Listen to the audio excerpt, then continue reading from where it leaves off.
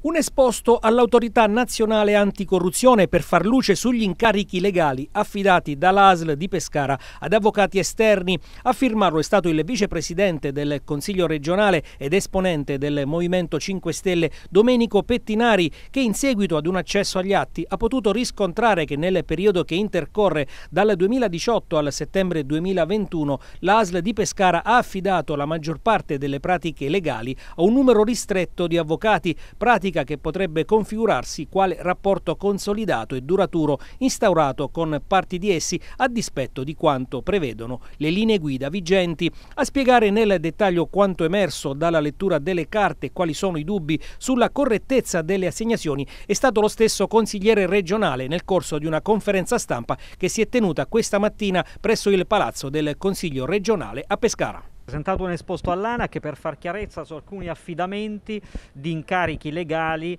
eh, dati dalla, dall'ALS ad avvocati esterni. Ebbene, il focus è stato fatto dal 2018 al 2021, ho scoperto che l'AS ha affidato all'esterno 338 pratiche legali. Di queste 338, ben 140 sono stati affidati a soli tre avvocati, ulteriori 107 ad altri 8 avvocati e poi ho scoperto che nel nell'albo precostituito dall'azienda del 2016 501 avvocati non hanno preso nemmeno una pratica e nell'albo aggiornato del 2020 339 avvocati anch'essi non hanno preso nemmeno una pratica. Allora, siccome le linee guida dell'ANAC parlano di rispettare i criteri di equa ripartizione delle pratiche tra tutti gli avvocati e di rotazione tra le pratiche, io chiedo